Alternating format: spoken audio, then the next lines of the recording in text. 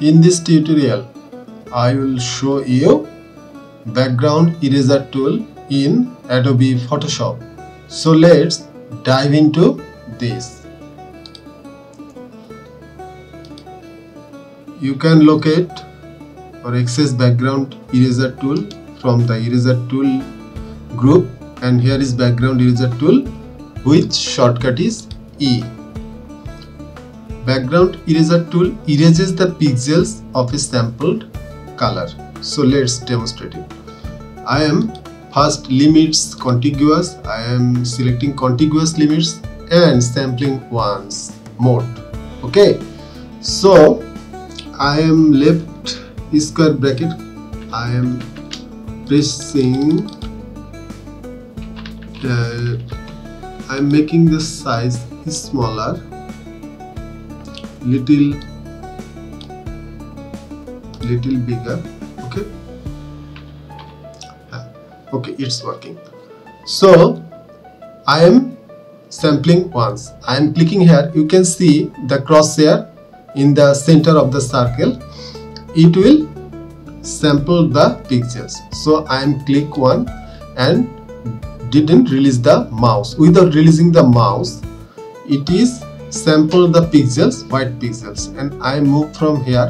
You can see it will not deleting yellow pixels. Again as it sample the white pixels it will only remove the white pixels from the image with this sampling once. If I continuous sampling press hold. When the crosshair capture a pixel it will delete all this pixel and it is sampling continuously okay? And finally you can see this is background swatch.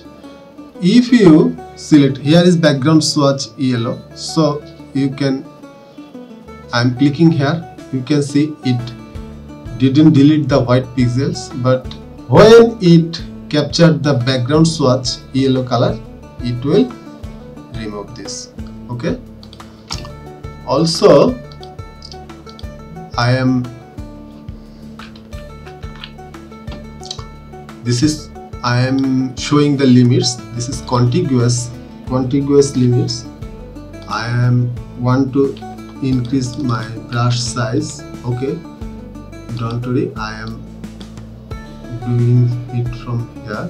It is 2000 almost I am making it little smaller. Okay so you can see the here is green color green color and in the middle of this color there is red color. So I am